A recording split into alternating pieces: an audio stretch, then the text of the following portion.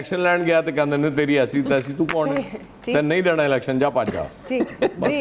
Enjoy करें आप लोग ब्रिगेडियर साहब वाकई इंजॉय करने की सिचुएशन है तरीके आदम तो एतमाद के बाद आपको लगता है कि सूरत हाल बदल सकती है? बहुत इंजॉय कर रहे हैं। आज भी इंजॉय कर रहे हैं लग रहा है बात हो गई। देखें बात ये है कि situation is not interesting I would आज ये कुछ सुन के आए हैं। It is very unfortunate it is not interesting का ज़बरदस्त मूड है।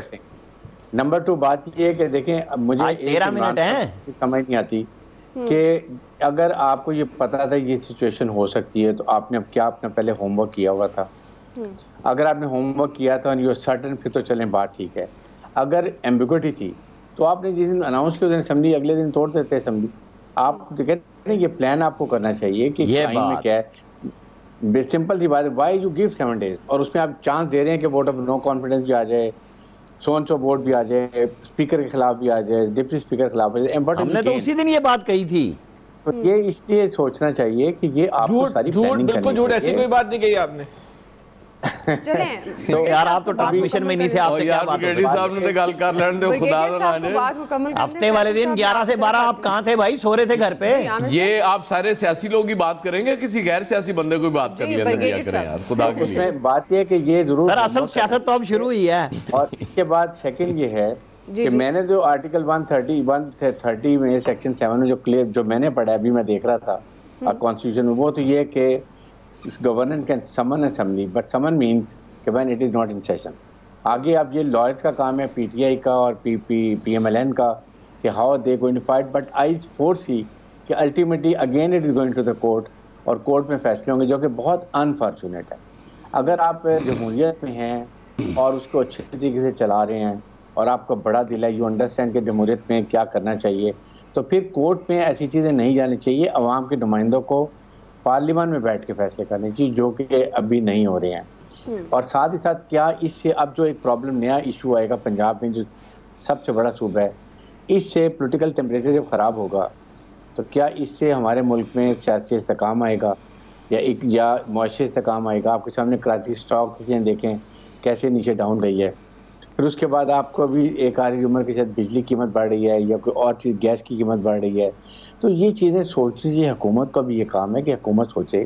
आप पहले थ्रेट कर रहे हैं उन, उनको प्रोवोक कर रहे हैं फिर वो एक्शन करते हैं आप उसके खिलाफ करते हैं। दैट मीन वी प्लेइंग कोई वो जो होता है बच्चों वाला खेल खेल रहे हैं। इट इज़ नॉट ये पाकिस्तान के मुस्तकबिल की बात है। तो आई फील कि ये अल्टीमेटली असम्बली में ये जाएगा कोर्ट में केस और वहाँ फैसला होगा। डिपेंड ये करता है कि किसकी लॉयर लीगल टीम सही है राइट है। लेकिन पाकिस्तान के लिए situation is not good I am very unhappy सही एंड होपलेस जी फैसल साहब आप किस तरह से देख रहे हैं इस सारे सियासी मंजरनामे को? और आपको भी लगता है ये मामला अदालत में जाता हुआ दिखाई दे रहा है? ये तो मैं आपको बताता हूँ लेकिन आज जितना मुर्शिद खुश लग रहे हैं ना लग रहा है गेट फोर से आ रहे हैं और कोई बड़ी खास खबर लेकर आए बहुत खुश हैं आज। इनकी देखे ना हर बात हँसते हुए कर रहे हैं। दूसरा भी कोई बात कर रहा है तो मुस्कुरा रहे हैं। आज मुर्शिद की हालत जो है ना बड़ी ज़बरदस्त साहब की बात कर रहे हैं आप? बोल नहीं रहे।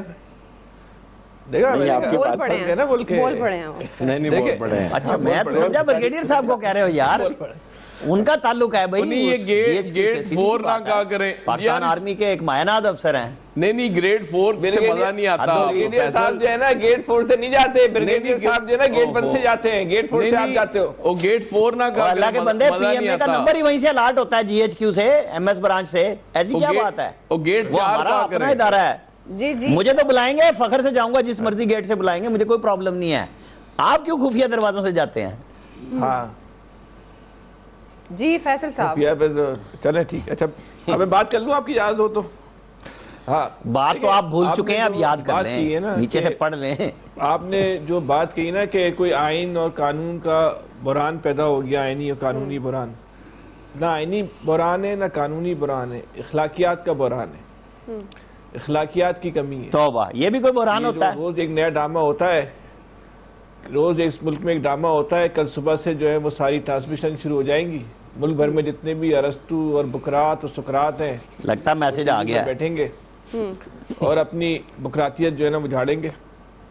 आप किसी लाइव चला के खुद ट्रांसमिशन में नहीं होंगे। कौन कौन बुकरात बैठा हो। आप मेरा ख्याल है मैसेज आ गया इसीलिए बुकरात बन गए खुद ही। और तो ये बैठेंगे यकीन करें ये जो खेल है ना एक घिनौना खेल है। अब इससे ना एक आम आदमी को ना कराइयत आने लग गई है। इमरान अगर मौजूदा हुकूमत इस असम्बली को तोड़ने से रोकने में कामयाब हो जाती है तो यकीन करें ये इमरान खान की कामयाबी है। वो चाहती ही नहीं है कि असम्बली टूटे।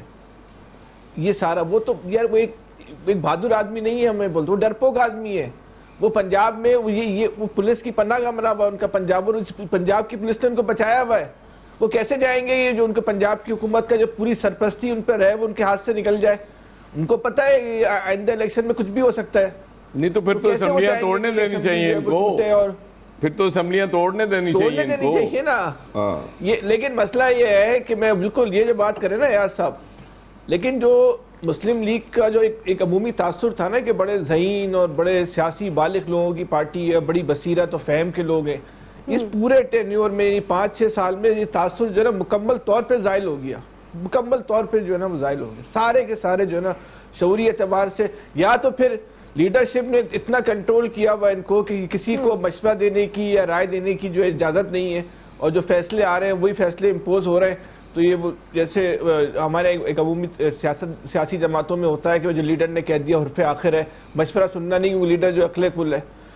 इन्हीं के इस मौजूद इमरान खान को सियासी तौर पे घेरना यकीन करे अल्लाह माफ़ करे सबसे आसान तरीन काम है क्योंकि वो खुद सियासी तौर पर फारिग हैं। लेकिन जो हम आपसे हमेशा कहते हैं ना कि इमरान खान की खुशकिस्मती ये है कि उनका मुकाबला सोमालिया की टीमों से हो रहा है। सही। ये है इमरान खान की जो असल ताकत है। इस वक्त इमरान खान अगर आप असेंबली तोड़ने से बचा रहे हैं तो ये तो इमरान खान चाह रहे हैं। वही काम आप कर रहे हैं? अगर इमरान खान को असेंबलियाँ तोड़नी होती ना जिस दिन परवेज इलाही वजी आला बने थे ना उसके अगले दिन तोड़ देते। ये हर पंद्रह दिन के बाद तारीख देते ना तारीख पे तारीख तारीख पे तारीख। वो कौन सी मोहम्मद अली की फ़िल्म थी? किसकी फ़िल्म थी? इसमें वो आया था बड़ा ज़बरदस्त हुआ था। आमिर साहब देखी थी आपने? मैंने नहीं देखी है जी। नहीं नहीं वो इंडियन मूवी है यार मोहम्मद अली ना। फ़िल्में? वो इंडियन मूवी है। इंडियन इंडियन मूवी हाँ। और भाई अपने आप तो को ये एक सुई से बात करो ताकि बात कंप्लीट हो जाए आपकी। ये जुम्मे जुम्मे तक भी इंतज़ार करते ना तो इमरान खान ने जुम्मे को एक नई तारीख दे देनी थी। ठीक है। लेकिन हुकूमत क्योंकि एक शौरी एतबार से और सियासी एतबार से जो बिल्कुल एक फारिग हुकूमत साबित हो रही है और एक खौफजदा और डरी भी सहमी भी हुकूमत है उसकी उसकी। नायली का जो है वो और बोझ पड़ा हुआ है। उसकी वजह से उसकी समझ में नहीं आ रहा वो करे तो क्या करे। ठीक। जी।